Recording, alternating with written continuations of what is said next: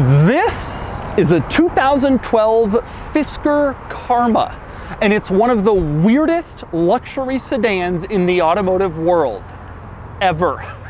This was an environmentally friendly luxury sedan with a sticker price of over $100,000 when it debuted. And it came out at the same time as the Tesla Model S. But while the Model S and Tesla succeeded, the Karma and Fisker failed. And these days, you can pick up one of these for under $40,000. Today, I'm going to review this Karma to find out if you should.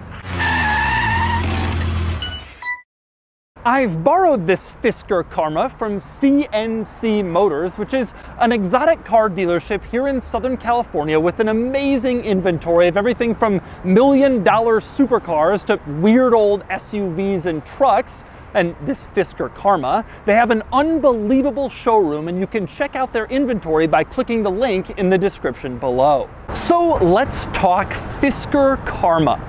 The Karma was the first totally new car to be made by Fisker Automotive, which was based here in California. The goal was to create an environmentally friendly luxury sedan. So, under the hood, you had a 2 liter turbocharged four cylinder that was borrowed from General Motors, and it was mated to two electric motors that combined for a total output of over 400 horsepower. Prices started around $103,000 for a base model, although the top level eco chic trim level could top $120,000. Unfortunately, the Karma wasn't successful. Battery supply issues plagued the company, and that, combined with slow sales, caused them to stop production after only a little over a year and a little more than 2,500 of these produced, all of which were model year 2012 after the company went out of business, used values on these tanked fast. And these days, it's easy to find a used Fisker Karma for around $40,000 or less. And today I'm going to review this Fisker Karma, and I'm gonna show you around one of the strangest sedans ever made. First, I'm gonna take you on a tour of this car and show you all of its interesting quirks and features. Then I'm gonna get it out on the road and drive it, and then I'm going to give it a Doug score.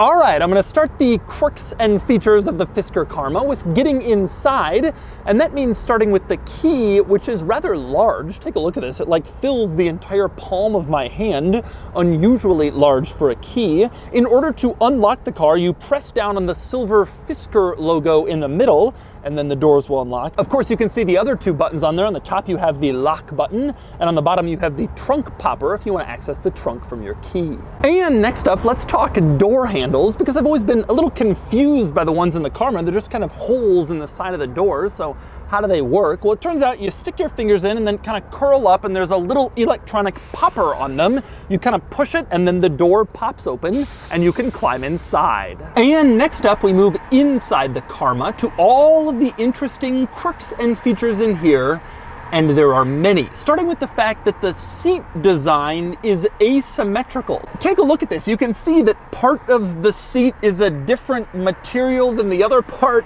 It doesn't initially make sense until you realize that they're trying to tie in the center console and the seats in one kind of fluid look. Not really sure if they succeed, but it certainly sets a tone for the quirkiness we're about to uncover. One good example of that is the starter button. Take a look at the starter button. Looks fairly normal, except printed on it are the letters E, V, E, R which seems a little strange. This isn't called the Ever, it's called the Karma, so what's that about? It turns out that stands for electric vehicle with extended range. Because this car has electric motors, you can plug it in, and a gasoline engine, that's how they kind of sold it. And they were very proud of the fact that they came up with this term Ever to describe this. So there are badges that say that all throughout the car. There's one in the back, you can see EV, ER. And again on the sides, they also use this badging. They must have thought they were really clever to print this rather cryptic acronym all throughout the car. And next up, we move on to the center console. There are some pretty standard things in here. For one, you have window switches, look pretty normal. Nothing weird about that. You also have a couple of cup holders. Again, fairly normal but that's pretty much where the normal ends. The next interesting item is definitely the gear selector. No lever, no dial. Instead, you have this like diamond thing that rises up from the center console, and you can press each of these buttons to engage the different gears. The weirdest part about this, though, is that when you press a button and the gear is engaged, a beam of light shines like from this gear selector into the dashboard. It is really strange. You can see each time I'm doing it, you get that same beam of light, I guess, confirming that it accepted what you pressed. And by the way, the cool thing with those flashes when you choose a gear is that each gear flashes a little differently. Take a look. You press D and it flashes kind of back to front in the direction that you will be driving, which is kind of cool. You press R and it's the opposite. It flashes front to back since you'll be backing up. You press N for neutral and the whole thing just flashes once in unison, I guess since you won't be going anywhere. And when you press P for park, the whole thing flashes twice to confirm that you're in park. So each different gear you can select has its own flash icon corresponding to whichever gear you've selected, which is neat. Now, maybe even stranger than that is the fact that the beam of light that lights up does so inside this glass panel and it doesn't open. Instead, this is supposed to be like trim that looks cool. Most of the time, it's not doing anything, but it's always there in a different take on interior trim. And speaking of unusual glass interior trim, same deal over on the door panel. You can see there's this little piece of glass trim on the panel. Again, looks very odd, not your usual style, but that's what they went with for this car. And next to that glass trim on the door panel, you can see there is a button marked open. Like I showed you on the outside, this car has electronic door poppers. So you push that, and then the door is electronically popped open, and then you can climb out. No traditional door handle in this car. Now, speaking of the doors, another interesting item here. In most cars, the door sill has like the make or model name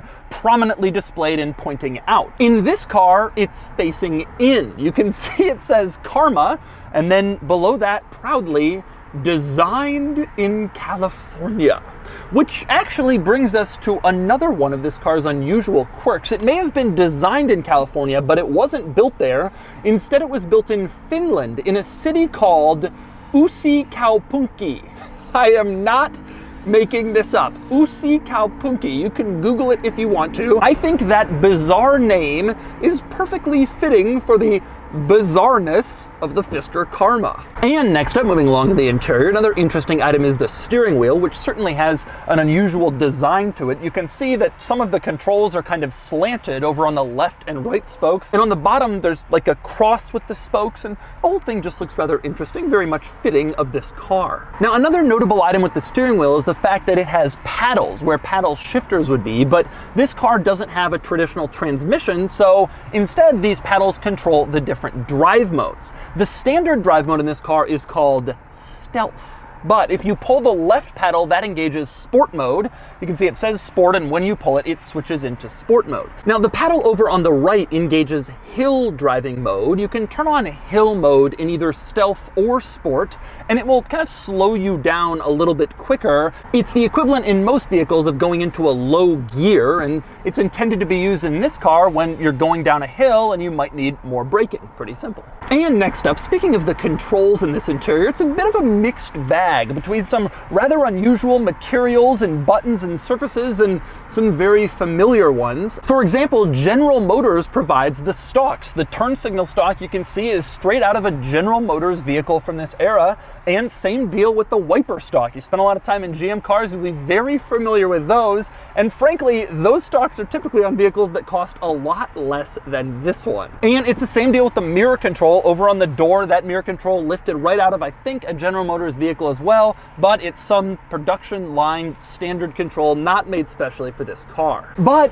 then at the same time, we get into some rather weird controls. For instance, in the center control stack, there's a big screen, but you have three buttons above the screen. On the left, a door with a key, obviously the locks. In the middle, the hazard lights, of course, and on the right, there's like a hand So what does the hand button do? I was thinking you press that when you want to pause the screen so you can clean it, wipe it with your hand. It turns out it actually opens the glove box. That's not a hand, it's a glove. And when you press it, the glove box releases immediately. An interesting depiction of that for sure. By the way, two interesting items with the glove box. One, because it's controlled with a button rather than a typical mechanical latch, when the car is off, you can't open the glove box. The electronics have to be on, the car has to be working for the glove box to open. So if you break down, good luck accessing your owner's manual to figure out what's going on. Good design. But once you do get into the glove box, the owner's manual is kind of an interesting thing since Fisker doesn't exist anymore, and you likely won't encounter many of these. You can see it looks nice in this nice leather pad, and when you pull it out, it looks like a fairly typical owner's manual with the picture of the car on the front. Nothing too weird here. Two interesting items early on in this owner's manual as you open it up. One is that they are constantly touting pure driving passion. I guess that was Fisker's slogan at the time, but it seems kind of odd considering this is a full-size automatic transmission plug-in luxury sedan, not exactly the kind of car you would think pure driving passion. And in the same vein of words in the owner's manual that didn't really work out, in the introduction it clearly says, We look forward to serving you in the years ahead. Oops, needless to say, they did not actually get to serve you in the years ahead. And next up, we move on to the gauge cluster, which has a few interesting quirks of its own. In the middle, you have your range, and it shows separately your battery range and your total range. So total is always going to be higher because it's the gas powertrain and the electric powertrain, but you can also just see your EV powertrain only if you want. Now over on the left, you have your speedometer, nothing particularly interesting or unusual here. Over on the right, instead of a tachometer, you have a display that shows several different items. You have your battery capacity, you have your current fuel level, and there's also a gauge that shows whether you're accelerating or whether you're generating, using the energy from braking to generate more electricity and more range for the car. So that's sort of the electric car version of a tachometer. And next up, we move on to the infotainment system, this big screen in the center of this entire interior, which is both unusual and outdated. And I'll give you some examples of both of those things. For one, we have the climate control display in this screen, which is kind of odd. It's this circle. You can see the temperatures are around it. Now to adjust, you're supposed to move these little sliders to higher or lower temperatures. But as you can see, it's very slow to respond. It's a good idea, but if you want to go from heat to cool, this is like a 20, 30 second process just tapping this thing. And physical buttons would definitely be better better, especially when it's this slow. Next up, moving on to the music tab of this infotainment system, I really like the radio adjustment. You can see you move this like little dot along this line of radio waves to adjust for exactly what station you're listening to. I think that is a really cool way to do it.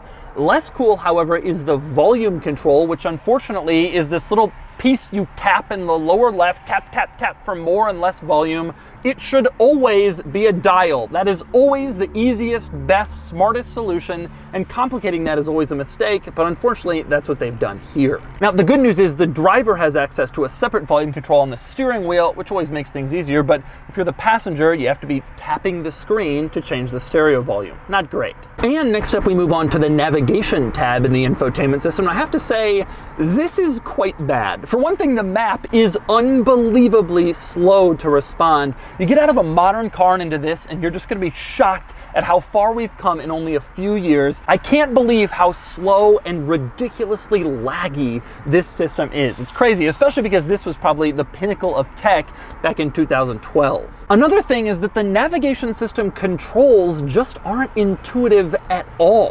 For instance, I go to enter an address and it tells me to enter an address within California, where I'm located, of course, but what if I'm going somewhere outside California? I spent several minutes with this thing and I couldn't figure out how to simply change the state, which could be a problem if you live in the Northeast where states are very close together and you're frequently going out of state for trips. Not the best system. And another good example of that comes on the settings menu where you can see some items you might want to select are below your current selection. So you tap the down arrow, but nothing happens. Instead, you have to tap the up arrow to bring this whole thing upwards, I guess. Very unintuitive. Again, a very strange way to do it. This infotainment system, not really the best by modern standards. But then again, this car being almost 10 years old, you wouldn't expect it to be. And next we move on to the back seat of the Karma, which is atrocious. really, really tight back here. I have the driver seat positioned where I would sit, and I'm not exaggerating or making this up. I can't fit in the back seat of this car. I can't get my legs in place while the driver's seat is in a fairly normal seating position. There is an almost unbelievably poor use of space in this car, especially when you consider that it's 196 inches long. This is the same length as a lot of full-size SUVs, and yet this is the back seat situation in here. And it's not just legroom, headroom is also terrible. When I try to sit up, this is how it ends up happening. I'm probably four inches short. This really should have been a coupe because it feels like one. back here. With that said, there are a few interesting quirks and features in the back worth noting, starting with more glass trim. Again, it's in the center and you can see there's just this piece of glass that you can see through to a lower piece of trim. It's an odd decision, but I will say I do kind of like the outside the box thinking. You have the same thing on the door panel, another piece of glass trim that reminds you this is very much not your typical car. And also next to that piece of glass, again in the back, you have the button marked open. You push that, the doors electronically pop open, you can get out. Now, beyond all that, the Karma has only four seats, two in front and two rather cramped ones in back, and in the middle there is a large center console with a few interesting controls. To start, you have window controls in the center, nothing unusual there, but next to that you have heated rear seats, which was a pretty big deal back in 2012. Beyond those items in this large center console, you have a couple of cup holders back here for your drinks, of course. And then in between the two seats in the middle, you have a pair of outlets so that each passenger gets their own charge port back here. I think that the reason this center tunnel is so high is because because there's a lot of EV stuff in here, batteries, that sort of thing. And so they had to do this, and that's why we don't get a third seat. And next up, we move outside the Karma, although I'm going to explain everything in here because I'm stuck. no, actually, because it's unusually loud outside and it's quieter in here. I'm gonna start with the trunk. You open it up and you can see it's really tiny. Really, really tiny. Again, a terrible use of space in this vehicle. There's no room for anything, no passengers, no cargo, very odd. Now, one interesting item on the outside near the back of this car, there are two fuel doors. When you walk around, you can see one on the left and then there's another one over on the right. Same size, same placement, so you're thinking, are there two fuel tanks? Of course, the answer is no. One of them is a fuel door. You pop it open, you can unscrew the cap and put in fuel. The other one is for charging. This is a plug-in hybrid, so you plug in the battery component, and then when it runs out of battery, it will use the gas engine as a backup. And next up, one of this car's most striking features, at least from the outside, is the roof because it has solar panels. The whole roof, in fact, is purely solar. This is a really cool look, but it's also functional. The solar is actually gathering energy from the sun and it uses it to power this car's accessories. It doesn't power anything with the actual driving, but some of the accessories are powered by that roof, and so that's why it's there. Pretty cool. And next up, something I've always found rather interesting about the Karma is the placement of the exhausts for the gasoline engine because it's right behind the front wheel and underneath the front windows. So if you have your window down, you can get some nice exhaust fumes right in the cabin. because the exhaust is right down there. It's such a strange place to put it, but that's what they've done. Now, since I've pointed that out, you might be wondering, okay, well, if those are the exhausts, then what are these exhaust looking things in the back then? And the answer is they're not exhaust. Instead, you look at them and you can see printed on them is hybrid HZ. That's supposed to be like hybrid hertz, as in sound hertz. That's a sound system on the outside of the car. You see, when this car was being developed, there was talk of making electric cars play a sound when they drive around, because otherwise they're silent and you might want to have them alert pedestrians somehow. And to this day, some brand new electric cars still do play a sound as they move, and that was where this car's sound came from. And of course, if you're curious, this is what it sounds like.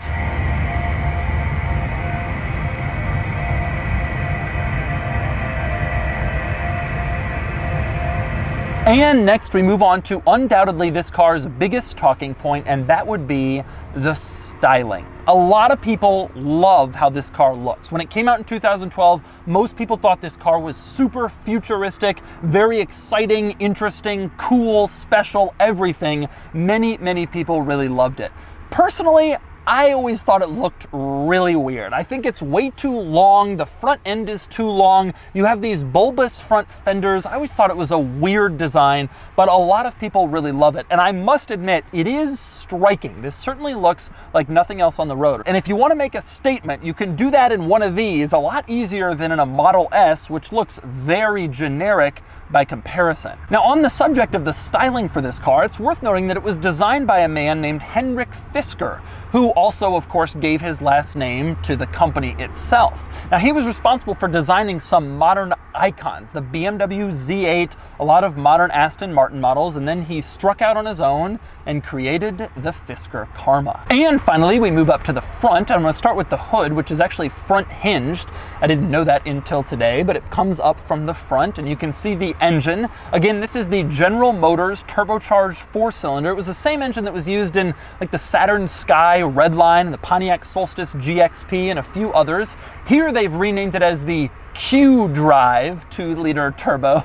They don't want any association with General Motors, but that is the powertrain. Same basic thing, except this car has electric motors as well. And one other item I like also up front is the turn signal. I just love how this looks. It almost looks like a machine gun up here in front. A very distinctive look, very cool, nice lighting design from this car. And so those are the quirks and features of the Fisker Karma. Now it's time to get it out on the road and see how it drives. All right, driving the Fisker Karma. I've never driven one of these before. Now, before I get into the driving experience, I do want to say these have come back on the market as new cars. There is a company uh, Fisker declared bankruptcy, and a Chinese company, I guess, bought the tooling and all of the designs, the rights, and they've brought this car back. It's now called the Karma Revero. So Karma goes from being the model name to the brand name, and Revero is the uh, model name. And they're now making them in California, and the engine is the same. And I haven't been on a new one yet, but it is now possible again to buy one of these new. Hopefully the technology has been improved. Now I've always been interested in this car. Like I mentioned, I never really thought that the styling was all that great, but it certainly is eye-catching, bold, striking. Um, I considered buying one of these to make YouTube videos with for a long time uh, and eventually decided against it, obviously. But it's a pretty interesting car um, and the idea of it was a good one. I mean, they were gonna they, they were to compete with Tesla, but instead of like going tech, they were to go beauty and luxury. And so the interior is much nicer in here uh, than in a Model S, and the styling was much more eye-grabbing. And the theory was different, right? It was a plug-in hybrid, so it had a gasoline backup engine, and so you know it could combat your range anxiety if that's what you wanted. Um, and so it was kind of an interesting idea, but it just didn't quite take off. It was kind of in the takeoff stage. They spent an enormous amount of money getting to this point. The US government gave them loans, uh, but it just didn't work out. Battery supply issues, there were fires, there were sales were slow, the car was too expensive, and it, it just didn't quite work out. On the road, it actually feels pretty nice, um, reasonably comfortable, reasonably luxurious. It's no S-Class, but it may be an S-Class from 2012. It's not that far off of that. The interior materials are actually pretty nice. A lot of leather, a lot of stitching. There's some real wood in here, untreated, which is nice. And acceleration is pretty good, reasonably quick, but not amazingly so. It's, it's relatively fast, but it was a four cylinder. And even with the electric motors, it wasn't really enough to make it feel fast, especially if you've driven any modern electric cars. This thing is very much behind the curve in terms of ludicrous mode cars. I think the main attraction today for people who want this car um, is primarily that it looks interesting, striking, cool, looks like nothing else that anybody has around you. That's a really big deal for the people who buy it. They really think it's like a cool look and and also the fact that it's cheap. Um, I mean, this one is kind of in the low 40s, pretty nice example, and it has very low mileage, under 6,000 miles. Um, but higher mileage ones, high 30s is pretty reasonable. It's about what you can expect. That is an appealing number considering what this car costs new and how eye-catching it is and bold. And if all your friends have boring other cars, you know, 40 grand, um, Avalons, whatever, you could really turn people's heads if you have one of these. Now, one issue uh, I would assume is battery servicing, um, you know, reliability, that sort of thing. But every time I talk to someone who has one of these or has been around one of these, they've said it's not really a problem yet. Um, they haven't had battery issues. They haven't run into any serious issues, and stuff that, that they have had issues with has been fixable. I imagine you'd have trouble if specific trim pieces or technology pieces or body panels broke, got damaged, whatever.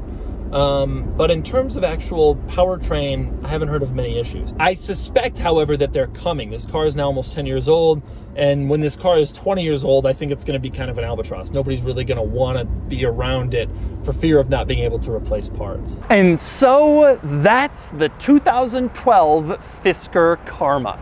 This is a very interesting vehicle, a striking looking sedan with a lot of unusual design touches and interesting ideas. And I wonder if it could have been successful with more early investment or better battery supply. Maybe we'll find out with the new Karma Revero. Anyway, with that, now it's time to give the Fisker Karma a Doug score. And the Doug score is 48 out of 100, which is just not really very good. It places the Karma here against other luxury sedans from this era and electric vehicles, and as you can see, the Karma never gets better than a 6 in any one category. It also gets some unusually low scores, like a 4 for practicality, which is the lowest score I've ever given to a four-door car. But this barely qualifies as a four-door car, at least in terms of rear seat room and trunk space. Acceleration is mediocre, 0 to 60 in just under 6 seconds, despite the pure driving passion slogan, and quality is also also relatively low, far behind other luxury sedans. Not because I think the interior is bad, I don't actually, but because I worry about support and repairs down the line. The truth is, the Fisker Karma is head turning and relatively cheap, and that is why you'd buy one. And frankly, if you're getting one for those reasons, I get it. Otherwise, there are far better options.